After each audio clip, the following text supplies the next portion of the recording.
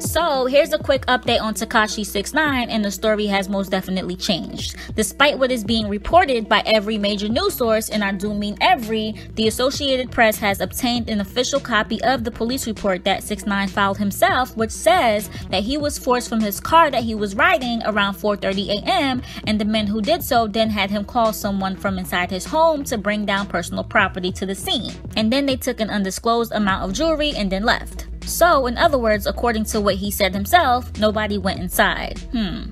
The AP also says that he became uncooperative once he filed this report, and that there is no mention of him seeking medical attention or being treated for any injuries following the event. Wowzers. Mind you, the video that he was supposedly coming from is of him and Nicki Minaj, which was actually shot prior to. So now folks believe that this troll is chasing clout and has made all of this up just to promote his music and stay talked about.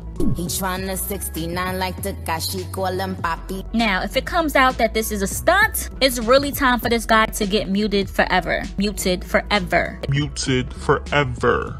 What do y'all think? Leave your thoughts below and don't forget to like, share, and subscribe to this channel for more. Like and follow facebook.com slash petteablog. And don't forget to hit that bell to join the notification gang. petteablog.com signing off.